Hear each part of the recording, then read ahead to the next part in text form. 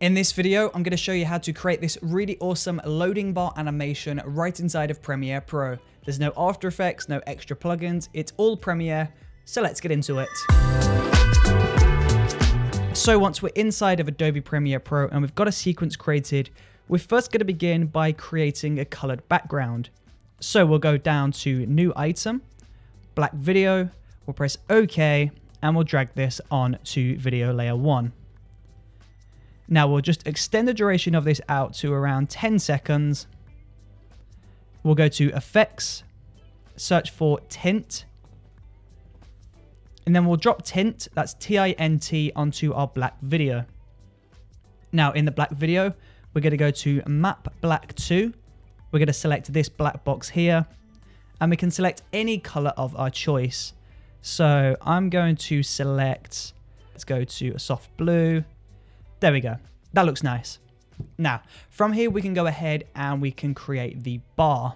Now, from here, we're going to go ahead and we're going to create the bar that the animation is going to load inside of. So we're going to go File, New, Legacy Title. We'll press OK on the Legacy Title window. We'll extend the duration of this out. And then on the left side of this Legacy Title window, we've got these shapes. So I'm going to select, I'm going to select this rectangle tool and I'm going to draw a rectangle roughly in the middle. There we go. Now, at the moment this is filled in, we want to just see the stroke. So we're going to go over to the right, deselect fill, and then we'll go down to strokes and we'll select outer strokes and select the add button. So that's going to add an outer stroke. And now we can go ahead and we can change the color of this to white. And then if we go to size, we can just increase the size of that rectangle. And that looks really nice. Now from here, we're just going to select that rectangle. We'll select these two center buttons here to make sure it's centered up in the middle of the video. We'll exit the legacy title window and we'll drag title one onto video layer two. Now, moving on, we're going to create the animation inside of that bar. So from here, we're going to go new item, black video, press OK. We'll drag title one or a bar that is up onto video layer three. We'll drop the black video onto video layer two and we'll extend this out to the right. Now from here we want to go ahead and we want to crop this black video so that it sits inside of the bar. So we're going to select the black video. We're going to go to opacity, select this free draw Bezier and we're just going to follow around this white rectangle and create this rectangle on the black video. There you go. That looks really nice. Now, from here, we're just going to scroll to the very end. We're going to create a brand new keyframe on the mask path. We're going to go to the very beginning. We're going to select mask one. And then we're going to grab these two frames on the right of the rectangle mask. And we're going to pull them all the way to the left. There you go. You can see that slowly filling in. Now, if you wanted to change the color of the bar inside, then you want to go to effects. Tint should be sitting there, but if it's not, you want to search for tint again. Drop tint onto this black video. Go to map black to and select the color of your choice. So let's go for a soft pink. And there you go. You can now see this pink loading bar inside of this rectangle. Now, at the moment, if we zoom in to this, you'll see that the edge is a little bit soft. If you didn't want a soft edge, then all you have to do is go to mask feather and pull this down to zero, and that makes this hard edge. Now from here, we want to add some lines or some gaps into that pink bar. That's just going to make it look like there's kind of a percentage count going on throughout this bar. So we're going to go into effects and search for blinds. And that should load Venetian blinds under transition. Drop Venetian blinds onto black video and then inside of the Venetian blinds, we'll go to transition completion and we'll pull this up. Now, if you pull the transition completion all the way up to 100, then the bar disappears. So we want to make sure we keep a lower number. Let's go for 30%. And then we'll go to width and we'll increase the width. This is basically increasing the gap between each pink line. So if we have a small width, then you can't see the Venetian blinds effect. But if we pull that all the way up, then we're not really going to see much of the bar. So we want to do a balancing act here and select a number somewhere around the 60, 70 region. Now when we play this back, we've kind of got this loading bar indication happening.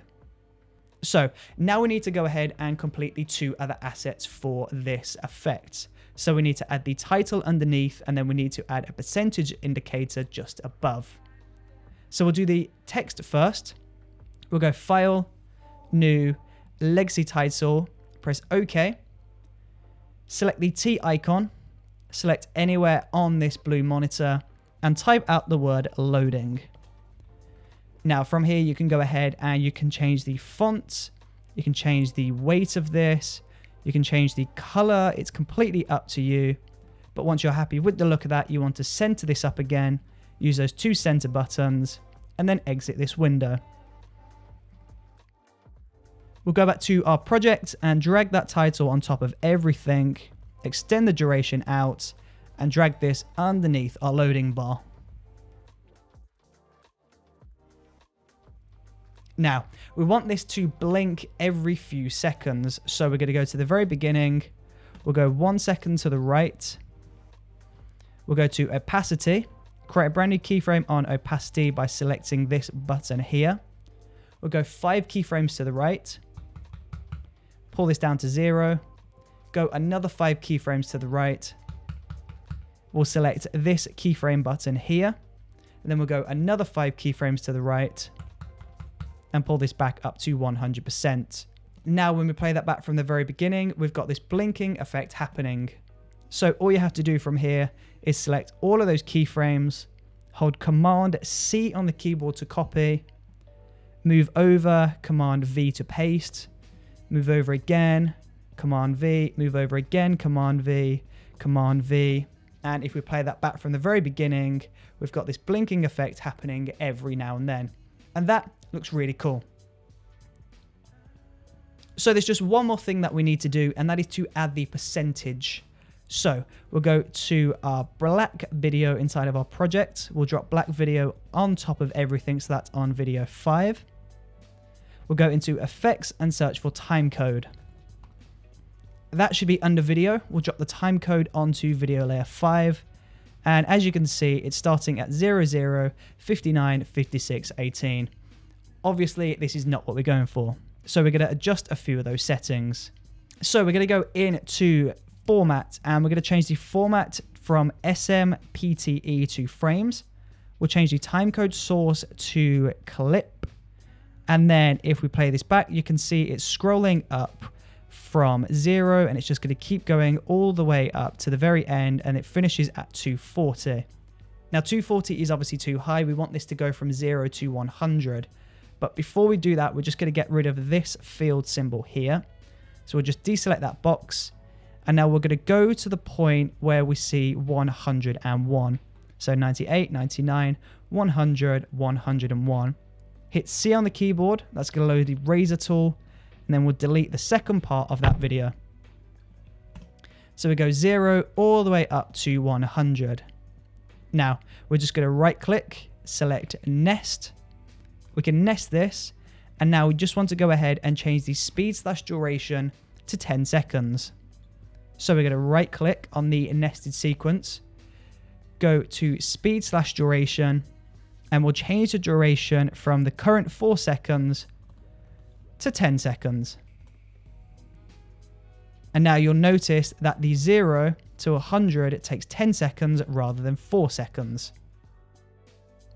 So from here, we're going to go into blend mode and we'll select screen. That's going to get rid of the black. We'll pull the position of this all the way up, nudge that over to the left a touch. We'll get into file, new, legacy title. We'll press OK. Want to create a brand new title and we're just going to type out the percentage symbol. Now you just want to center this up exit the legacy title window and drag the percentage on top of everything that is there. Now we're just going to zoom in to the composition so we can perfectly line this up. We'll reduce the scale, pull the position of this up, pull this to the right just a touch, And as you can see, there's a slight discoloration on the percentage versus the text. So we'll go back into the title. And we're going to change that to the color of the text. So we'll go to this eyedropper tool here on the fill.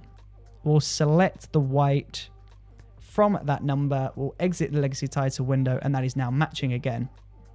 So if we play this back from the very beginning, we'll zoom out. We've got loading and a percentage climbing up from 0 to 100.